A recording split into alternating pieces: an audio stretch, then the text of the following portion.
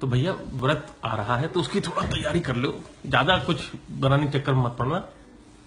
सुबह एकदम हल्का हल्का रखना। ऐसा करना, कूटू के आटे पूड़ी बना लेना वो पूड़ी ना बनाना, रुको रुको, पकौड़ी कर लेना, कूटू पकौड़ी, और साबुदाने, मीठा साबुदानी खीर बना लेना। और चाय के साथ एकदम लाइट लाइट ब्रेकफास्ट हो जाएगा। और लंच में भी, भाई व्रत है तो ज़्यादा मत करना। आलू की सब्ज़ी बना देना, रसेदार, आलू टमाटर वाली। और खट्टा मीठा कद्दू कर लेना उसके साथ। और पूड़ी निकाल देना सिंगाड़े के आटे की पूड़ी कर देना। तो हो जाएगा और मीठे में। मीठे में ऐसा करना राजभोग कर लेना बढ़िया सा या दही का कुछ कर लेना। अ, वो जो वेजिटेरियन दही बड़े वो वेबसाइट पर रेसिपी देखी होगी तुमने? जो वेजिटेरियन दही बड़े विदाउट एनी ग्रेन्स वाले जो थे वो हाँ। और कस्टर्ड भी वैसे व्रत में खा सकते हैं ना? कस्टर्ड तो कुछ है नहीं। कस्टर्ड भी कर सकती हूँ, आइसक्रीम कर सकती हूँ, व्रत वाली आइसक्रीम।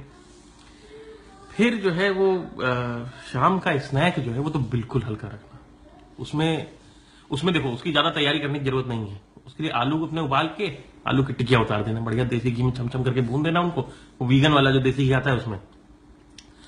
और तो आलू की टिकिया हो जाएगी, चटनी हो जाएगी, उसके साथ अपना वो पीनट कर्ड जो है, वो उसके ऊपर डाल के बढ़िया चाट पकौड़ी हो जाएगी। और साथ में अ, साथ में कुछ फ्रूट्स भी हो जाएँगे। साथ में थोड़ा सा केले रख देना दो तीन थोड़े सेब रख देना थोड़ा संतरा रख देना ताकि लाइट स्नैक हो जाए शाम के समय। और डिनर तो बिल्कुल ही हल्का रखना। डिनर में कर देना तुम साबुदाने की खिचड़ी और अ, अ, फ्रूट चला फ्रूट सलाद कर देना। आलू टमाटर की सब्ज़ी कर सकती हो। और अगर कक्का को ना समझ में आए तो उनके लिए पूड़ी सेक देना तुम। कूटू के आटे की पूड़ी सेक देना। तो बिल्कुल ज़्यादा नहीं हल्का हल्का पूरा दिन जो है हो जाएगा। तो इसी प्रकार अपना तैयारी करो। चलो, व्रत रखेंगे इस बार। भाई, सेहत के लिए कुछ तो करना चाहिए।